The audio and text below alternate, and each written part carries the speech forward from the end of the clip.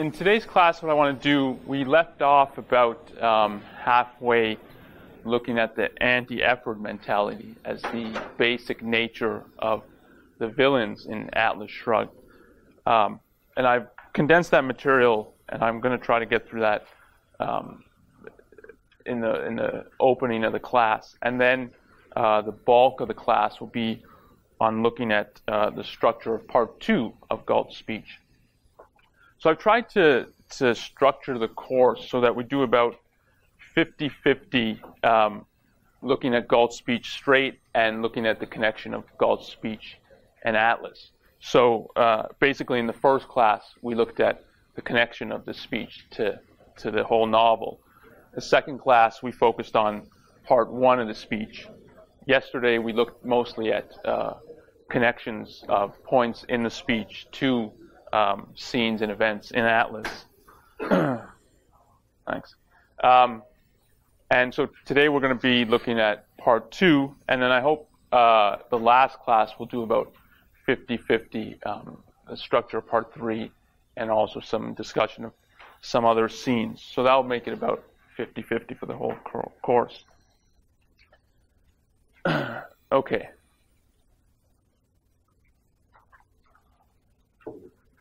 Now, last time we made uh, the following points that the state of focus, uh, which is the basic choice, requires effort in order to achieve it. And then we said that drift doesn't. Drift is a non effortful state of mind. and then we said that anti effort is really the same as a chronic drifter. and we said that that kind of mentality, which is the nature of the villains in Atlas, um, is sustained by evasion. And then we looked at some illustrations in Atlas with James Taggart, uh, with Lillian, and with Directive 10289 about uh, just illustrating that that is the nature of the villains, that they're um, anti-effort. Now, a couple of points that I forgot to make last time about evasion that I think uh, is necessary for where I'm going. Um, one is that evasion, as contrast to drift, is a state that requires effort. It's, it requires the expenditure of energy in order to lower your state of awareness. So you can look at um, James Taggart's mentality as, uh, and, and the whole anti-effort mentality as uh, effort for the sake of non-effort or action for the sake of non-action. So he, he evades in order to, estate, to attain a, a state of drift. So he expends effort, energy, in order to get back to a state that doesn't require energy. Or he acts, uh, we're talking about mental action here, he evades in order to get to a state uh, of drift where mental action isn't required anymore. and you can see that that's one of the reasons why uh, the villains are on the death premise. because they're on the premise of acting for the sake of not having to act anymore, effort for the sake of non-effort, right? And the whole of life is action for the sake of more action. It's action to perpetuate more action. and a state of non-action or non-effort, a state of stillness, as Ayn Rand observed, is the antithesis of life. It's a state of death. And if that's what he's aiming at, then that's uh, one of the reasons he's on the standard of death.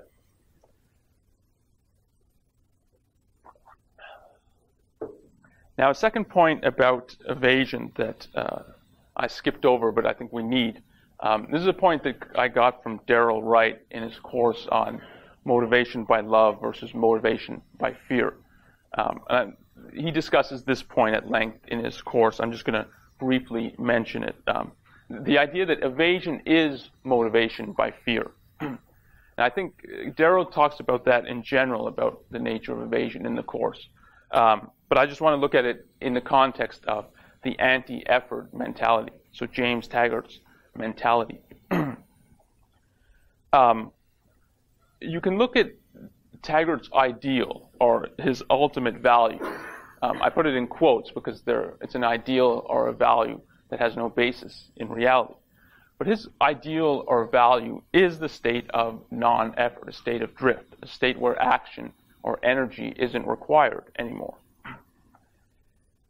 And every, um, every instance that requires of him to engage in mental action, that requires him or would require him to raise his level of awareness, is a disvalue for him.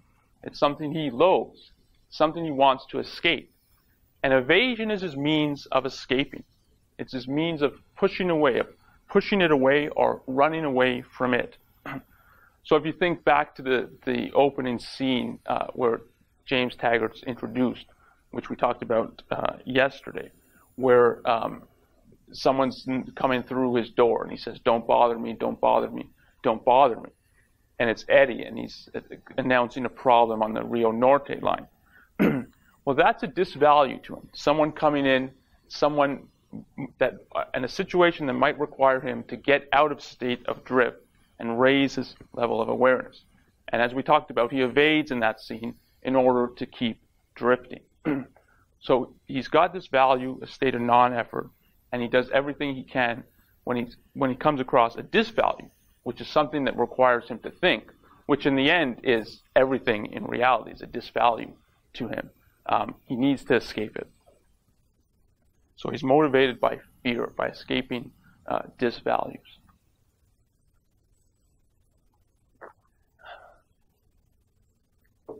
and we need that point. Um, I'm going to connect that to in when we get to part two, at the very start of part two. Um, Galt makes a point. This is on page 136, paragraph 89 of the speech.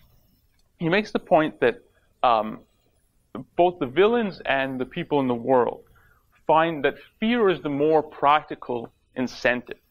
So it's fear that will set a mind in motion, according to uh, the villains in Atlas Shrugged. And you can see that uh, most vividly, I think, in the torture scene with Galt.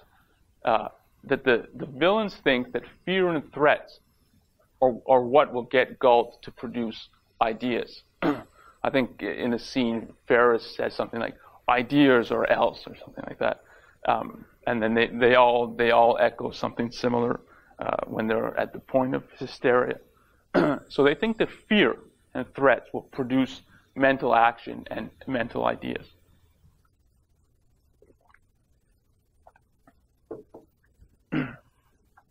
So that's the point we're going to connect to at the end.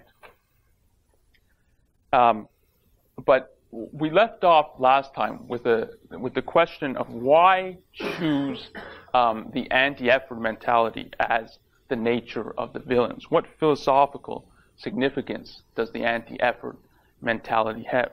and I and I promised that what we'd look at is the the prevalence and the dominance of this ideal in uh, the history of philosophy. now I had I had a whole bunch of different uh, philosophers we could look at, but let's, for the sake of time, let's take the big two uh, who are opposed to to Ayn Rand, so Plato and Kant, and then we'll we'll look at one of Kant's followers, or movement that's a Kantian pragmatism, because you get it most dramatically, I think, in pragmatism. okay, so let's take Plato first to see in what way, and we're going to do this quickly, to see in what way, um, for him, anti-effort is an ideal. well, this is, we get this from one of, uh, this is a quote from one of Plato's dialogues about what philosophy is for. And this is a quote. He says, Those who really apply themselves in the right way to philosophy are directly and of their own accord preparing themselves for death and dying. so, this is the idea um, that the whole of philosophy, the whole of your action on life, is a preparation for death, for inaction.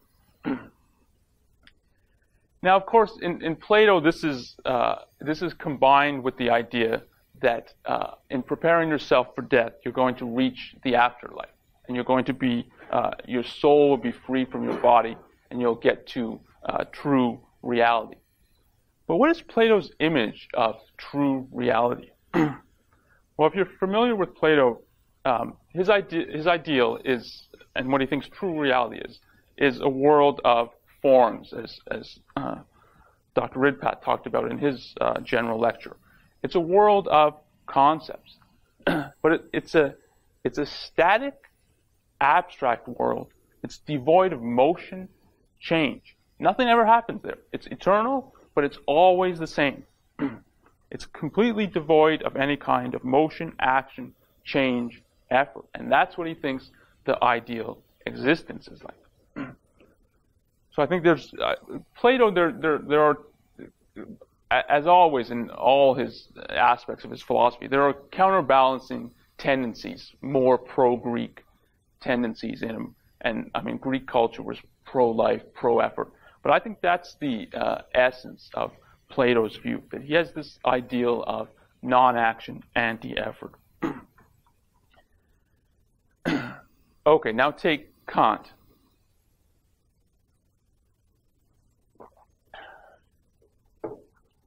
Now, as you might expect, Kant's the arch villain here. Though it's fairly well disguised, I think, the idea that uh, for him, anti effort is the ideal. so, you know the idea that the essence of Kant is his view of consciousness. So, the idea that because human consciousness has an identity, that it has a nature, that it has specific means by which it tries to know reality, that it attempts to grasp existence. For that very reason, it can't grasp existence. It's blind because it has eyes, and death because it has ears. That's Ayn Rand's quote about the essence of Kant. so his idea is that the identity of consciousness invalidates consciousness and makes awareness of reality impossible. Then what kind of consciousness could grasp reality on Kant's view? And this you get explicitly in him. It would be a consciousness that uh, is nothing and that works no how. it has no nature and it doesn't work in any specific means, and yet it somehow knows reality. well, what does that really mean if you want to uh, concretize that? Well, it's a consciousness that engages in no processing, no action, no work, no effort and yet still knows reality. so Kant upholds as the ideal James Taggart's non mind. That's the ideal mind. And he condemns the human mind because it falls short of Taggart's mind. so he condemns John Galt's mind because it fails to reach the ideal that is Taggart's. I think that's part of the reason Ayn Rand saw him as so evil. and notice too that uh, the flip side of Kant's view, if the ideal is non-effort, non-action, he also says that action necessarily means blindness. That any human processing or human effort in the mental realm means you're not aware of reality. It means you're blind.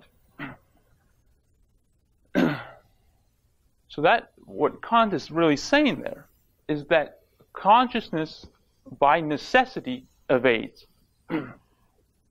by its nature, it the only effort or action that's possible to it is evasion. Right? We talked about the idea that evasion is an effortful state. if Kant says that processing action means blindness, then all that's possible to a mind is evasion.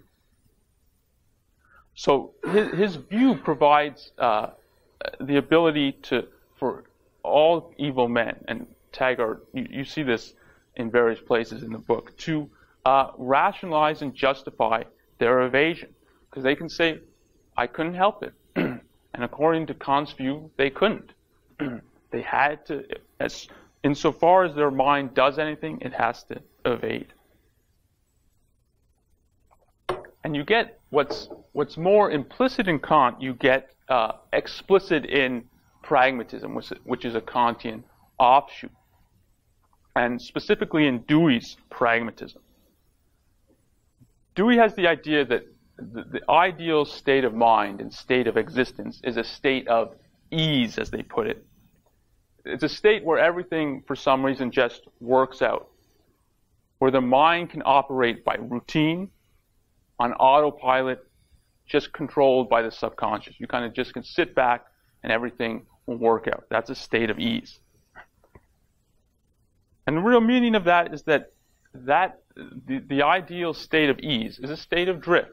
It's a state of anti-effort. It's a state where the conscious mind isn't in control, but the subconscious mind is. And you just kind of coast along. You mentally coast along. but then Dewey says, and the pragmatists say, for some inexplicable reason, problems often crop up. And that's when you need uh, the need for thought, I mean, what they call thought. When you're in a state of dis-ease. and what you need thought for is to restore you to a state of ease. So what they're really calling thought is evasion. You've got this disvalue that's all of a sudden puts you out of your state of drift. and what you have to do is restore yourself to this state of drift. That's exactly James Taggart's mentality.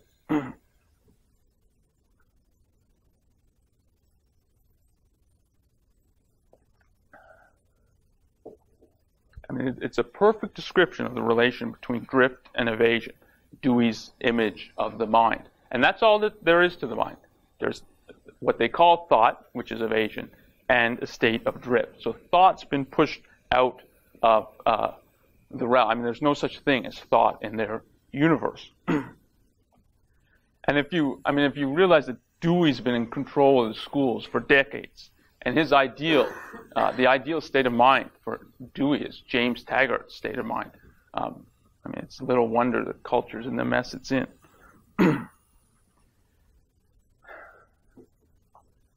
So that's a bit on the way the, the anti-effort mentality has been so prevalent in the history of philosophy.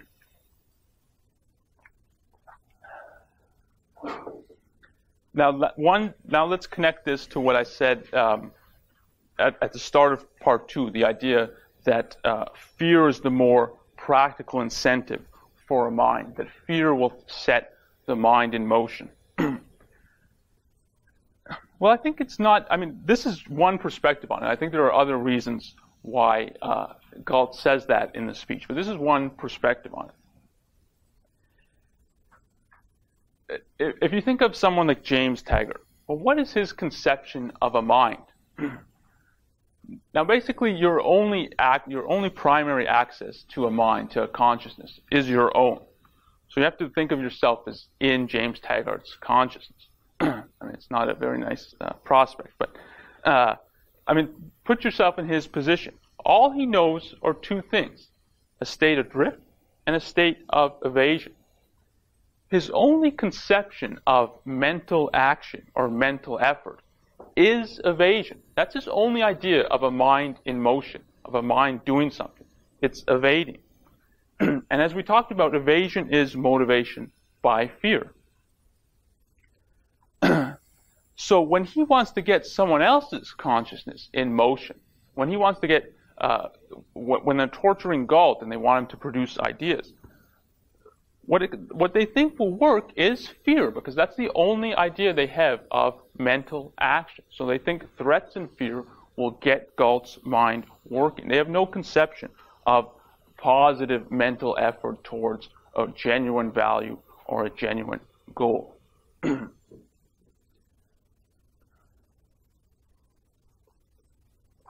So I think that's one uh, way of looking at what Galt says there at the start of part two. Okay, that's basically what I wanted to say about the anti-effort mentality. So let me pause here for questions. Any questions? Sure. Uh, as I understand it in objectivism, fear is never a proper motivation for any action. Uh, and for my question is, for a fully rational man, is fear ever an emotion? Is fear an emotion? Is it ever oh, an emotion for a fully rational man? I'm thinking of of uh, Michelangelo's David, who represents uh, a man con- confronted by a powerful uh, threat, but his his expression is certainly not one of fear. Uh, it's concern and focus. Well, I'm not going to. I mean, that Yeah. that takes us a bit out of, of focus. But I think definitely the fear is a is a genuine emotion, and there are cases where there's a threat to your value, uh, and you experience fear. I mean, if you're in a burning building or something like that, there's a threat to your life, and you experience fear, and it's and it's, and it's a I mean it's a necessary emotion to make you uh, I mean to draw your attention to the, the threat and uh, suggest the need for action, the need to run away, say, from a fire. Um, but but motivation by fear, um, it, you're, you're talking more motivation by escaping disvalues. And I think in the normal course of life, it's not a, a proper motivation, but there are uh, emergency situations, if you will, um, where you need to escape a disvalue. It's not a, it's, it should never be your primary orientation to escaping disvalues, but there often is the need to escape threats to your values.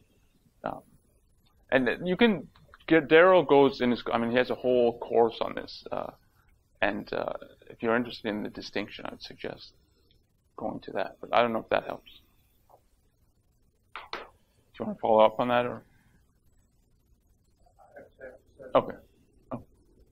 Anything else? Lindsay? You said that the only forms of mental effort that James Patrick knew was risk and evasion. I was Evasion. Sort of, or sorry, was evasion. I'd already sort of characterized that as a lack of mental effort. Is that? Do you see that as actually sort of an active mental process or an effort? It's it's. I think it's effortful. I'm not sure if I would describe it as a active mental Yeah. process in, in the sense that, uh, I mean, like a lot, like a process of thought is a long, drawn out process, but it's definitely effortful for them to to try to lower their state of awareness, and when they rationalize to do that or something like that, I think there's definitely mental effort to, to do that. Pardon?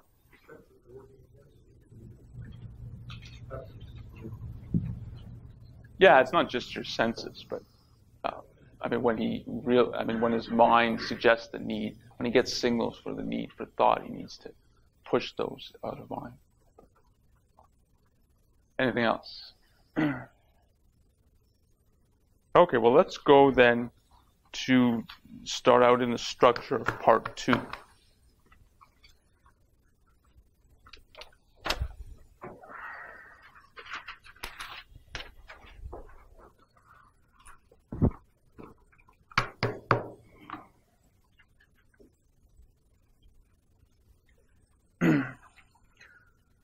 So as I, have said, I think the, the structure of, part two runs from pages 136, paragraph 89, all the way to um, 163, paragraph 206. and then this is a lot of material that uh, we're going to try to condense into about 50 minutes. So um, so we'll have to go fairly quickly. Um, and what's what's interesting about, or one of the things that's interesting about the structure of part two, that uh, it's not obvious, but when you realize it, it makes the, the structure of part two much easier to grasp. Um, is that if you look at the, the outline of the structure on the back of, of my handout, um, the, the structure of part two parallels the structure of part one. So the, the presentation of the morality of death parallels the, the, the general topics made in the presentation of the morality of life. and as we go through the structure of part two, I want to try to highlight that aspect that we're getting. Um, we've got this kind of mirroring structure. Okay, so the, the first, what I have is the first part, uh, sorry, the first section of part two is the damning of man's nature as evil. that runs from pages 136 to 138, paragraphs 89 to 102. and just as part one began with man's metaphysical nature, right? It began with the idea that reason is man's tool of survival, that it functions volitionally, that man is a living being. and that that morality consists in in embracing your metaphysical nature, right? We we looked at the idea that uh, man has to be man by choice, which is in uh, section A of part one. well, here we get the morality of death's uh, view. I mean, if you can elevate it to that, uh, of man's metaphysical nature. And it's really the rewriting of man's metaphysical nature.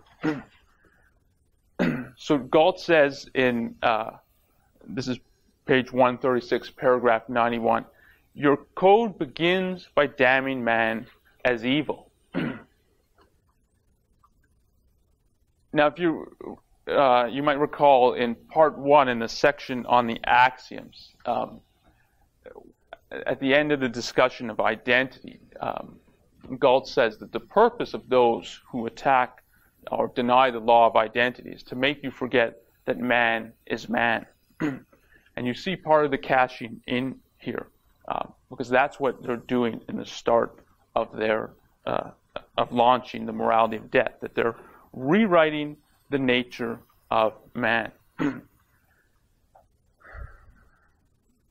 So, so they look at man's nature and they have a negative evaluation of it and they condemn him for his nature. and they condemn him um, because their ideal is the anti effort mentality. so I want to quote uh, a couple of paragraphs here. This is, I find, one of the most chilling uh, sections of Galt's speech. This is on, um, so, so we've got the idea that they begin by damning man's nature. And he says that the name of this monstrous absurdity is original sin. And I think you need to see original sin as wider than just religion. It's the whole anti-effort mentality. And that's part of why I wanted to uh, just sketch the, the predominance of that idea in the history of philosophy. So you need to see it wider here than just religion. It's definitely a wider perspective in the speech. And this is what he says about uh, original sin. This is on page 137, paragraph 96. what is the nature of the guilt that your teachers call his original sin? What are the evils man acquired when he fell from a state they considered perfection? Their myth declares that he ate the fruit of the tree of knowledge. He acquired a mind and became a rational being. It was the knowledge of good and evil. He became a moral being. He was sentenced to earn his bread by his labor. He became a productive being. He was sentenced to experience desire. He acquired the capacity for sexual enjoyment. The evils for which they damn him are reason, morality, creativeness, joy, all the cardinal values of his existence. It is not his vices that their myth of man's fall is designed, is designed to explain and condemn. It is not his errors that they hold as his guilt, but the essence of his nature as man. Whatever he was, that robot in the Garden of Eden, who existed without mind, without values, without labor, without love, he was not man. Man's fall, according to your teachers, was that he gained the virtues required to live. These virtues, by their standard, are his sin. His evil, they charge, is that he's a man. his guilt, they charge, is that he lives. They call it a morality of mercy and a doctrine of love for man. so they begin by uh, condemning man's nature as evil.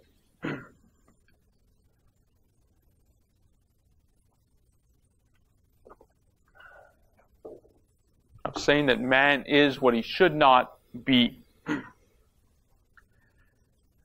and now notice um, that that's the, the beginning idea of the morality of death. And what is the um, what is the price of entrance into the morality of death? What do you have to do in order to uh, walk through the gates and enter the morality of death? what you have to do is surrender your mind. you have to give up your mind. As Galt puts it, this is uh, page 136 uh, paragraph 91. He says, It demands as his first proof of virtue that he accept his own depravity without proof. so his first proof of virtue is that he accept his own depravity without guilt. so he has to accept the unintelligible idea that he's evil because he exists, that he's evil because he is a man. I think that's an important idea that Galt comes back to later in the speech. That that's the initial price to enter the morality of death, that you surrender your mind, that you have to accept an unintelligible idea.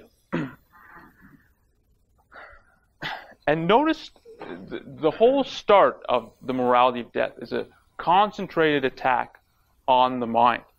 Because another point is that, so your basic choice in entering the morality of death is either to stay on the side of reason or to, to surrender reason and accept an unintelligible, inexplicable idea. So that's your basic choice. but the idea of original sin is aimed at attacking your very concept of reason and your hold on reality. because I think the idea here in the speech, I think, is that once you enter the morality of death, they don't want you to be able to exit. sure. I mean, accepting it or choosing uh, choosing it as your code. Uh, so I think to, to, to, accept it, to to to and, and be willing to practice it, you have to. The idea is that you have to surrender your mind. It's your first proof of virtue to discard your mind. and I think uh, the idea in the speech is that that's your basic choice, but they're going to try to make you forget that that was your choice. And so you won't be able to go back. They're kind of, you won't, they're, they're knocking off the ladder by which you got uh, to the morality of death.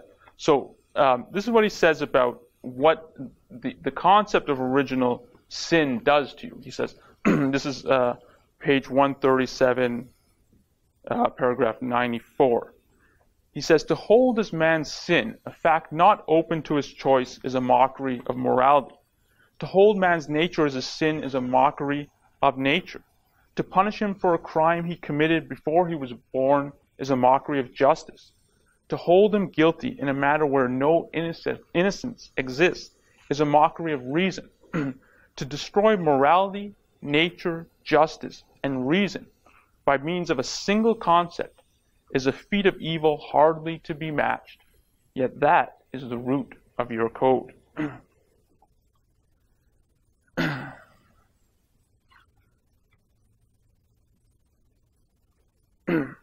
I think it's a similar idea when we get later in this section the distinction between soul body. So we get the soul body dichotomy.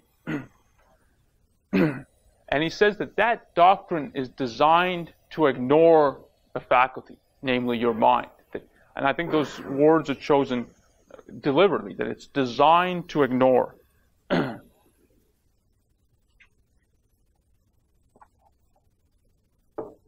I think what that means that it's designed to ignore is that you see your choice now not as reason versus accepting an unintelligible idea of original sin, but you see your choices well siding with the soul or siding with the body. And both those uh, two sides of the dichotomy are unintelligible. the idea of a soul without a body or a body without a soul. And they're both, as uh, Galt points out, symbols of death. so now your choice really is death behind door number one or death behind door number two. and they've pushed out the idea that you could choose reason, you could choose the side of life.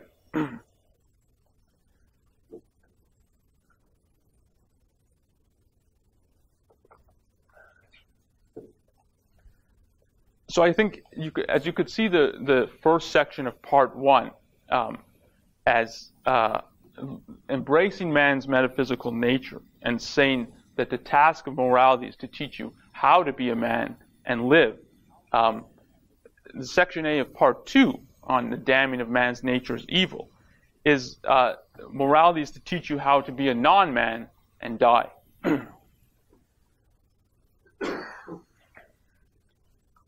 Okay, so that's what I have for the first section of the morality of death. Any questions on that? Okay. now, the second section in uh, the first part was defining the, the standard, the overall principle of the morality of life and its purpose. So it was man's life as the standard and your own life as the purpose of morality. Now, I think the next section in in in uh, part two on the morality of death is giving us the standard and purpose of morality according to uh, the two teachers of the morality of death. So the mystics of spirit and the mystics of muscle. so we're getting their, their version of the standard of value and the purpose of morality, their view of uh, good and evil. and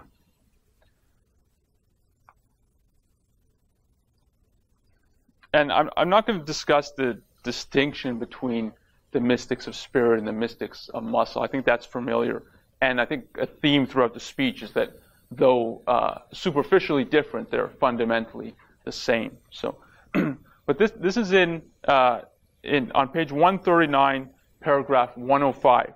We get uh, the standard of values for the mystics of spirit and the mystics of muscle, and then the purpose of morality for uh, both of them. So, to quote from uh, 139, paragraph 105, uh, Galt says, "quote Man's standard of value say the mystics of spirit, is the pleasure of God, whose standards are beyond man's power of comprehension and must be accepted on faith. man's standard of value, say the mystics of muscle, is the pleasure of society, whose standards are beyond man's right of judgment and must be obeyed as a primary absolute.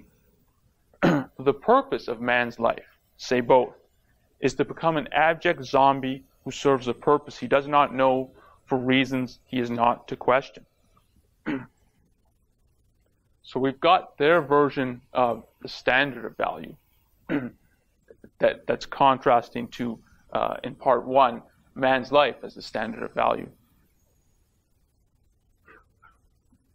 And we've kind of got the purpose uh, that they say morality serves. But notice it's not defined here. It's, it was uh, to become an abject zombie who serves a purpose he does not know for reasons he is not to question.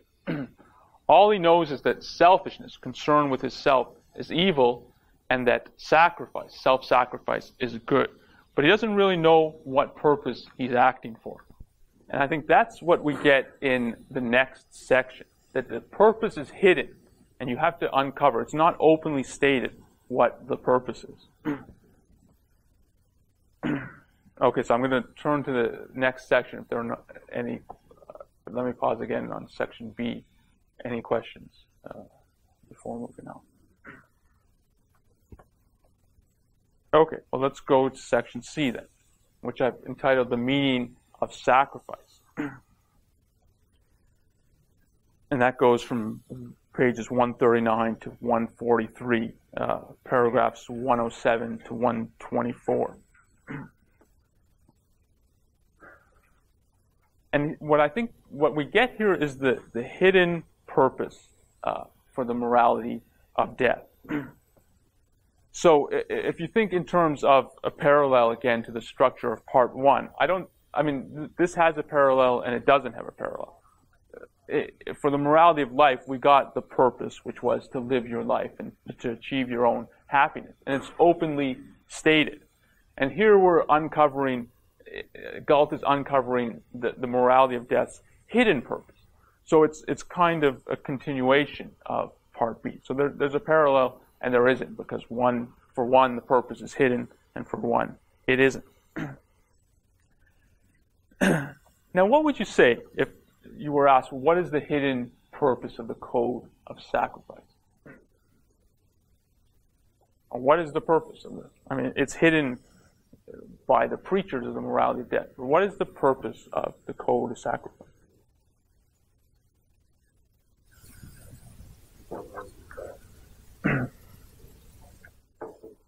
Why would you say that? that's what it ultimately ends up doing. Yeah. You can't just tell somebody to do that. So it's um, I think that's the it's the um, it, it, that's the ultimate purpose of the, the preachers of the morality of death is uh, to kill to kill everything. I mean, it's it's hatred of the good for being the good. But I think that we get a little different focus here on what the, the, the purpose of sacrifice. Why would they want people to sacrifice their values for others? yeah. It was, it was, if they sacrifice their values for others, then that means they give up their values. Okay, who are they sacrificing to?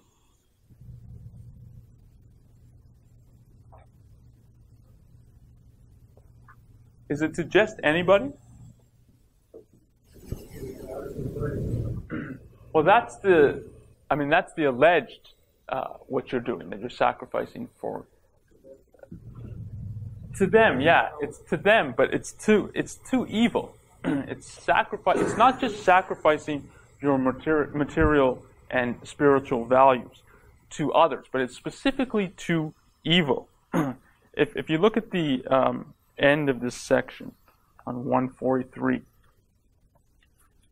or sorry, on, on not right at the end, 142, paragraph uh, 121.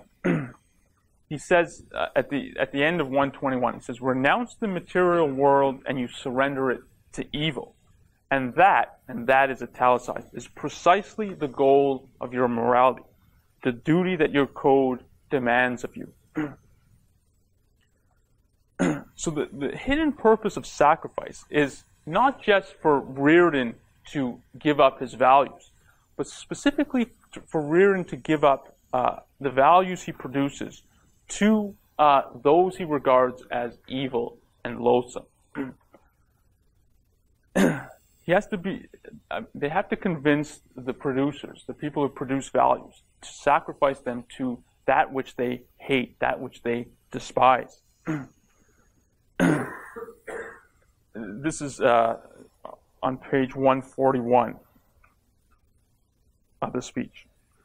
Go, quote, uh, paragraph 119, sorry. Um, quote, are you thinking in some foggy stupor that it's only material values that your morality requires you to sacrifice? And what do you think are material values? Matter has no value except as a means for the satisfaction of human desires. Matter is only a tool of human values. To what service are you asked to give the material tools your virtue has produced? To the service of that which you regard as evil, to a principle you do not share, to a person you do not respect, to the achievement of a purpose opposed to your own. Else your gift is not a sacrifice. and the start of 120, the paragraph 120, your morality tells you to renounce the material world and to divorce your values from matter. and you can you can get um, two. Let's take two contrasting situations from Atlas to try to uh, illustrate the difference. Um, now I'm taking Rearden here, uh, so it's not you. You can't. The, as I said, the speech is addressed to the semi-rational, and um, I don't have an example of that. I have an example of a, of a rational person, but I think it, you get the idea of what the difference is and what sacrifice is driving at. um, and, and, the difference when Galt, between a gift and a sac, what Galt calls a gift and a sacrifice. um, if you remember, there's a there's a scene towards the first uh, I don't know third of the book between Rearden and Mr. Ward from uh, Minnesota, and he's come to Rearden trying to get some uh, steel for his plant, and he knows that Rearden's at full capacity, so he's looking for a favor for a gift, uh, and this is this is part from the scene. this is Ward talking. He says, "I know that your mills are running at capacity, Mr. Rearden," he said, "and I know that you are not in a position to take care of new orders." What with your biggest, oldest customers having to wait their turn you're being the only decent, I mean reliable, steel manufacturer left in the country.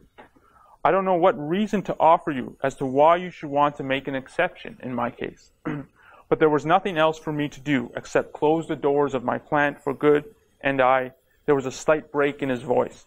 I can't quite see my way to closing the doors as yet.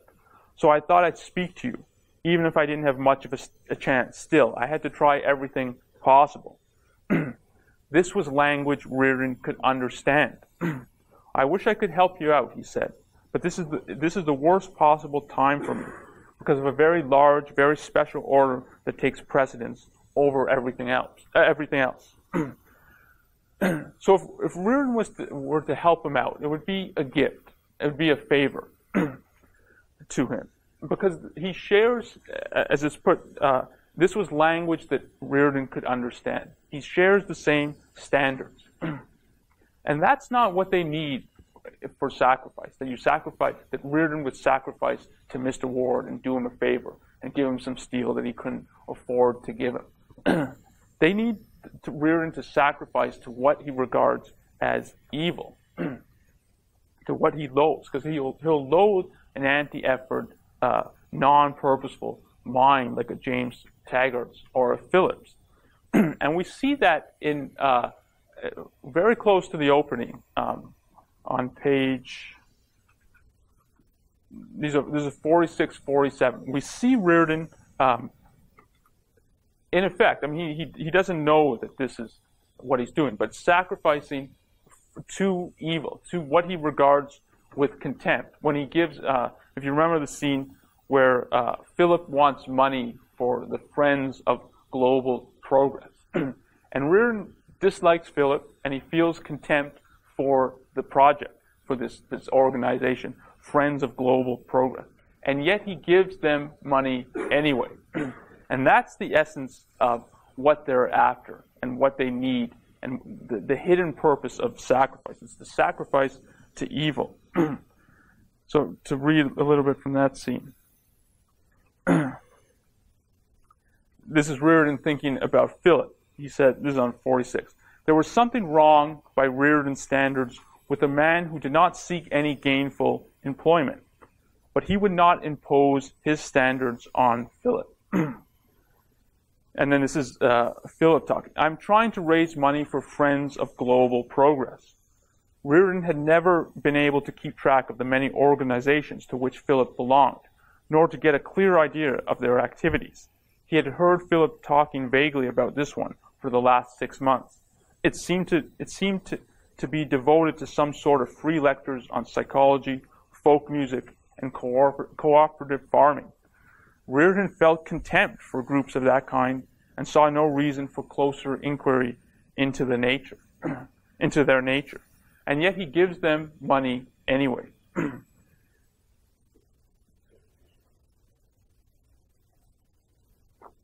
That's the hidden purpose, and that's in, in part um, when Rearden liberates himself from um, his mistaken premises.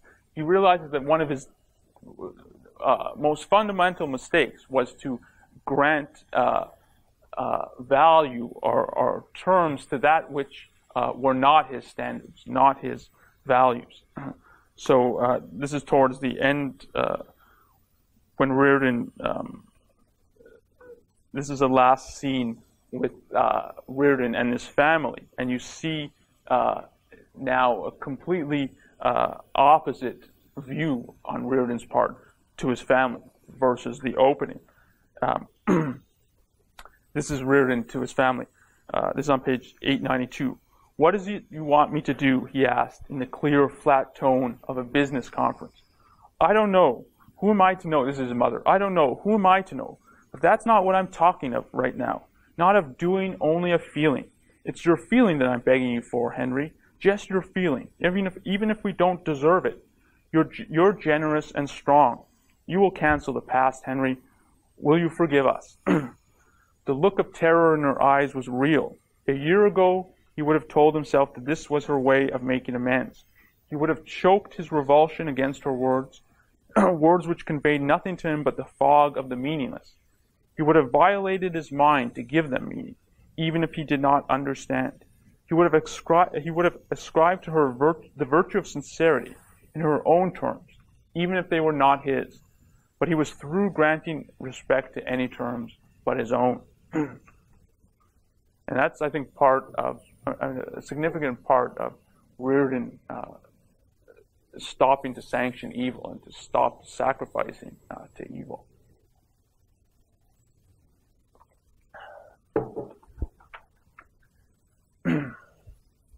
okay, that's on. That's all I have for section C on the the, the meaning of sacrifice and the, the hidden purpose that uh, the Nate that Galt's discussion of the nature of sacrifice gets to. So, any questions before we move uh, to the next section?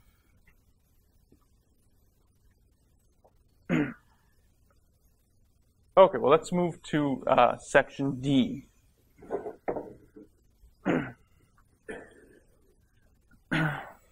which I call the guidance offered by the code of sacrifice. and now again, let's start off with the, the looking at the parallel between parts one and part two. now I think we do have a parallel except for a couple of things. Um,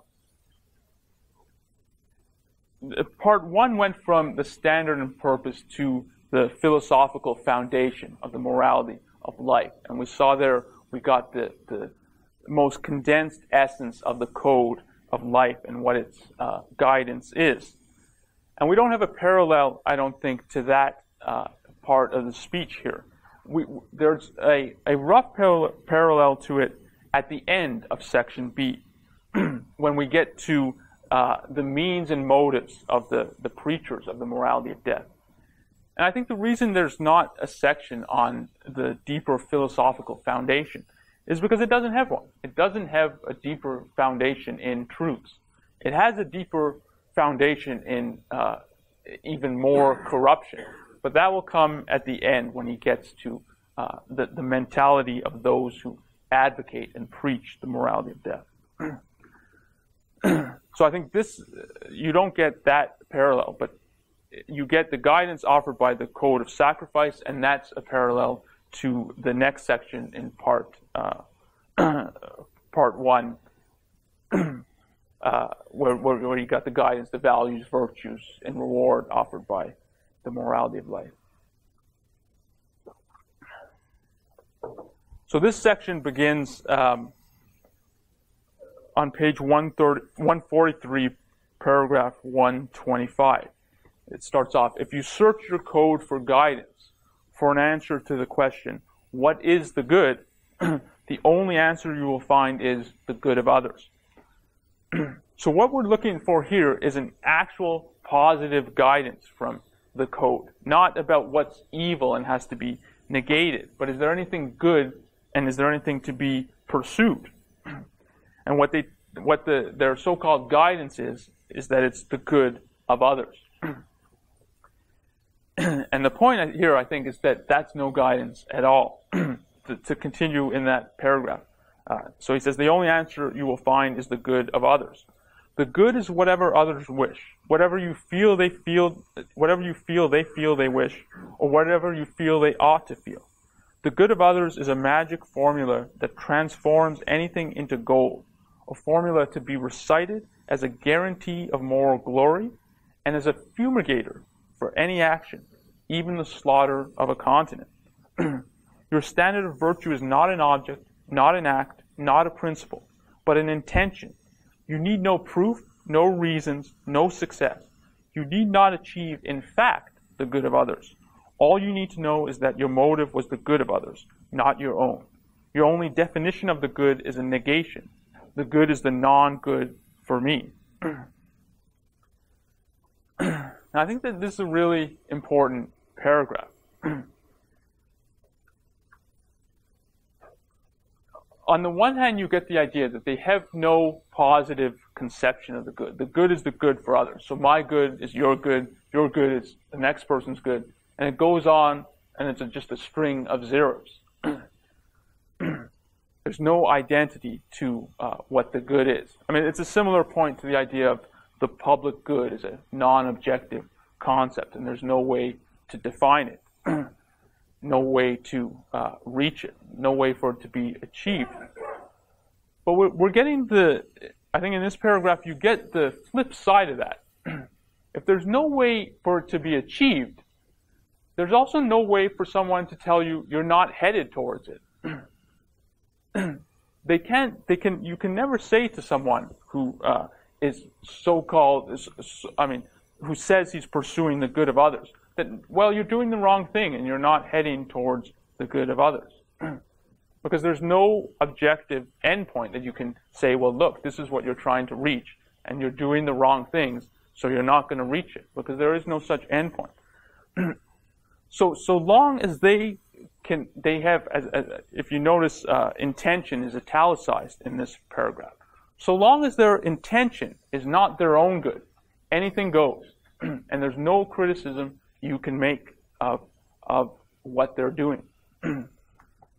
I think that that's a, a profound point about why, uh, I mean, if you think of the 20th century and the blood pouring from continents because of the code of sacrifice, and there, everyone remains unfazed um, because you can't tell them, well, look, you're not, you're not headed towards uh, the good of others.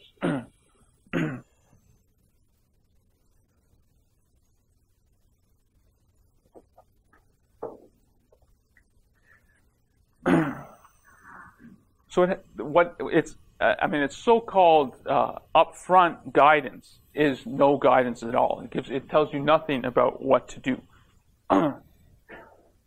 all it tells you is that your intention should not uh, be towards yourself. but there's hidden guidance to the code. and that's what we get in uh, the remainder of the section. So Galt asks questions that they're not prepared to ask about what their code has to tell them. This is um, page 144, paragraph 130. he says, I, who do not accept the unearned, neither in values nor in guilt, am here to ask the questions you evaded. Why is it moral to serve the happiness of others, but not your own? if enjoyment is a value, why is it moral when experienced by others? But immoral when experienced by you. If a sensation of eating a cake is a value, why is it immoral indulgence in your stomach, but a moral goal for you to achieve in the stomach of others? and Galt goes on uh, in that paragraph asking similar questions. and then he says in, in 131, he says, The answer you evade, the monstrous answer, is no, the takers are not evil, provided they did not earn the value you gave them. it is not immoral for them to accept it, provided they are unable to produce it, unable to deserve it, unable to give you any value in return.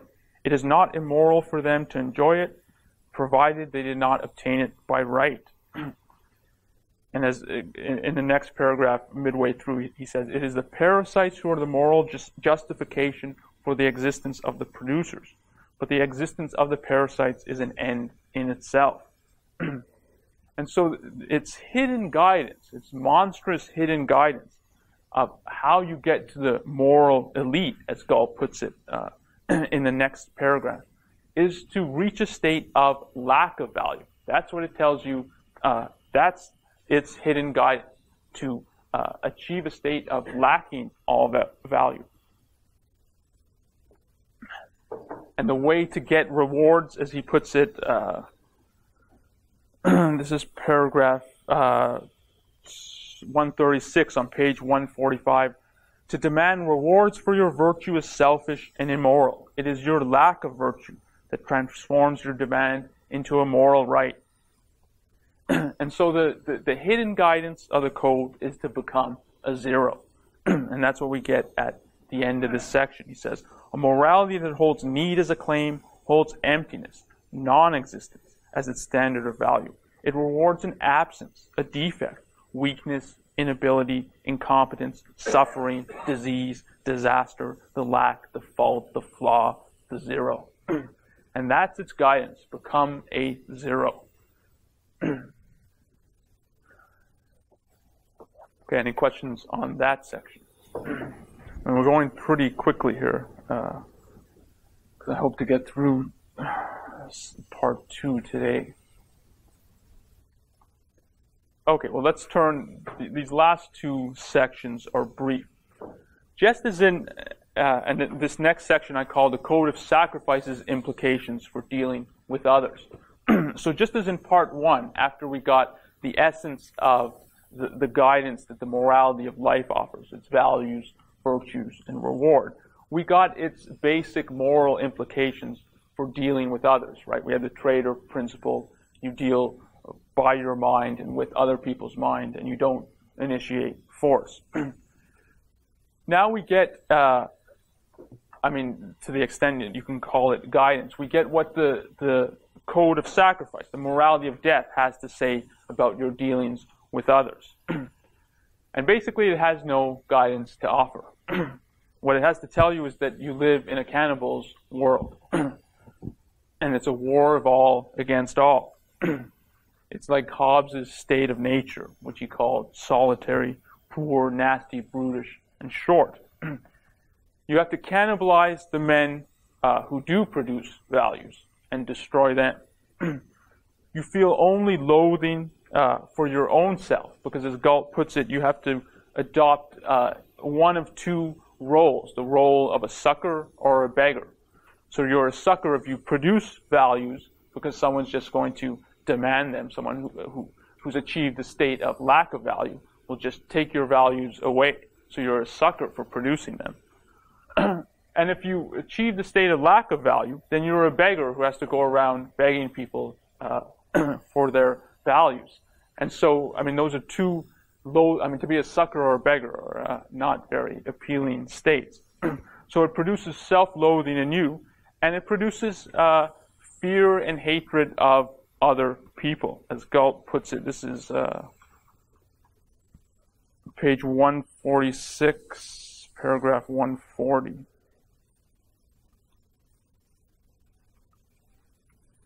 You fear the man who has a dollar less than, less than you.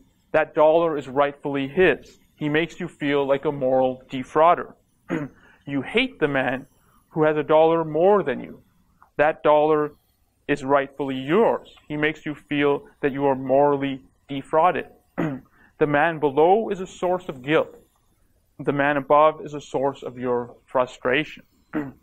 so you hate and fear both the people above you and the people below you. So basically, you hate and fear everybody. It's a war of all against all.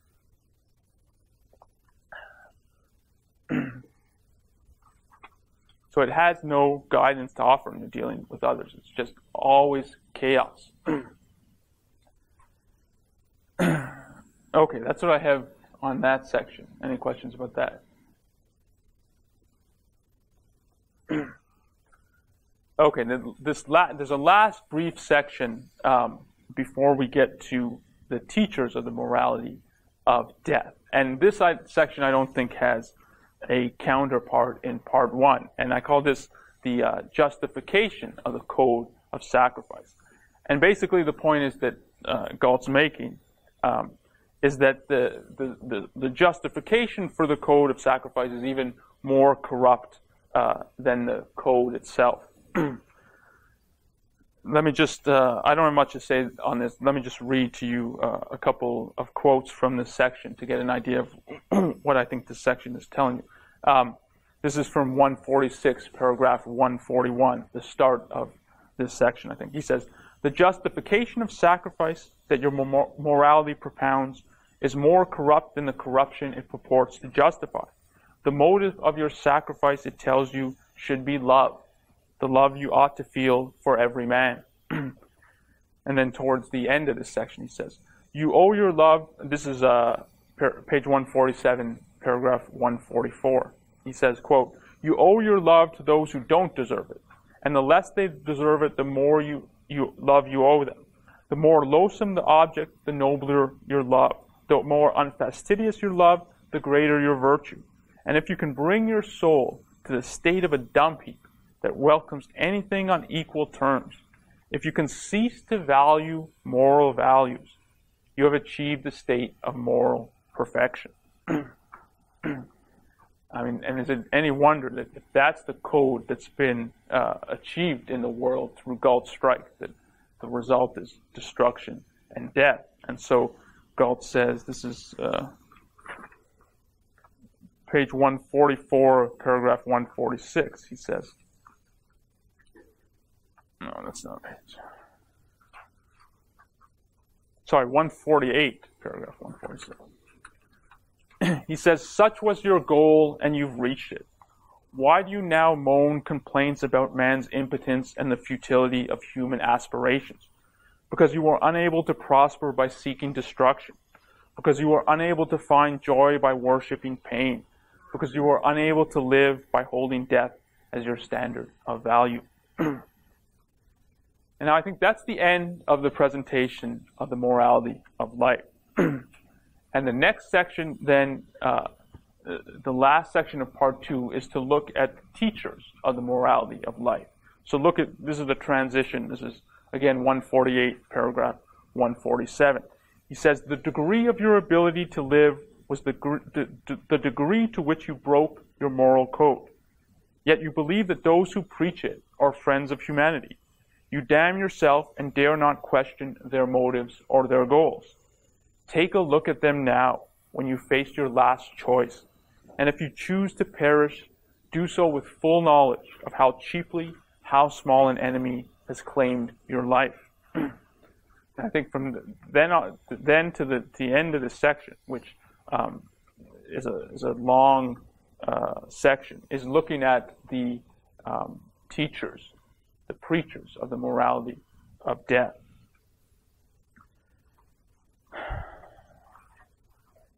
Now, this this I think is the most this the next uh, about ten pages I think are the most difficult part of Galt's speech. Um, let's see if we can just. Uh, I mean, you can look at my structure uh, that I've set out in the handout of part two. Let's just look at uh, the the opening of it, and then um, we'll be able to take up the closing, hopefully quickly, at the start of tomorrow's class. so we, I, I pointed out um, at, at, the start of the discussion of the morality of death that he said uh, that I, I, thought one of the key ideas was the idea that you had to surrender your mind in order to accept the morality of death, that to accept the idea of original sin, that man is guilty by the mere fact of existing, um, that, you, that that's accepting an unintelligible idea. And so it's, it's surrendering your reason. and I think now the, the first point uh, in this uh, last section is that that's how the mystic attack you, that they attack you through fear of relying on your mind. so if, if, if as I said before, that the price of admission to the morality of death is your mind, then what the mystics try to do is to convince you that the price is not a very high price. Indeed, they try to convince you that you're getting a bargain. If they can convince you that your mind is useless, that it's impotent, then what's the big deal if the price of admission is giving up your mind, is giving up this impotent useless thing. because look what you're getting in return. You're getting these potent revelations of the mystic. And all you're giving up is something that doesn't work. so I think um, this is on 148. He says, uh, this is page 148, paragraph 148. The mystics of both schools who preach the creed of sacrifice are germs that attack you through a single sword, your fear of relying on your mind. they tell you that they possess a means of knowledge higher than the mind, a mode of consciousness superior to reason, like a special pull with some bureaucrat of the universe who gives them secret tips withheld from others. The mystics of spirit declare that they possess an extra, extra sense you lack, this special sixth sense consists of contradicting the whole of the knowledge of your five. The mystics of muscle do not bother to assert any claim to extrasensory perception. They merely declare that your senses are not valid, and that the, and their wisdom consists of perceiving your blindness by some manner of unspecified means. Both kinds demand that you invalidate your own consciousness and surrender yourself into their power. They offer you as proof of their superior knowledge the fact that they assert the opposite of everything you know, and as proof of the, their superior ability to deal with existence, the fact that they lead you to misery, self sacrifice, starvation, destruction. and, it, and, and it goes on how they claim a superior mode of existence and so on. So I think the idea is that all the, the attacks on the validity of senses, on logic, on reason, on consciousness, on identity, on existence, are for the purpose of softening you, softening you up um, to, to, to be ready to enter the morality of death. That you will be ready to give up your mind and so uh, enter the morality of death.